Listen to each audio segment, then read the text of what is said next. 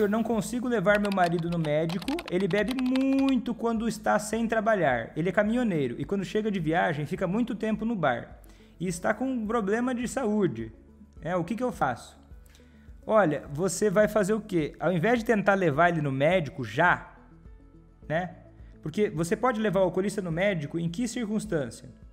Em que circunstância você pode levar o alcoolista para o médico? Obrigatório. Quando ele tiver tipo assim, ó, para morrer, Aí você pode obrigar ele aí, né? Mas isso aí pode ser bom, pode não ser, não necessariamente é a melhor forma de fazer, né? Certamente, como estratégia única, não é a melhor forma de fazer, mas é o seguinte: quando você, antes de pensar em levar ele para o médico, já que é uma situação que né, não é de vida ou morte imediata, a sua, a sua concentração não tem que estar tá a ir no médico. Tem que estar tá no relacionamento, no cotidiano, no dia a dia. Ó, ele bebe quando está na sua cara, quando está com você, quando ele vai para o bar, né?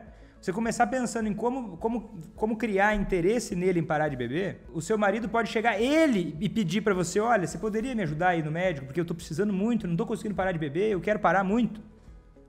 Outra história, viu? Outra história. Então começa se preocupando no seu relacionamento, no cotidiano, na rotina, em reforçar a sobriedade e não reforçar o alcoolismo.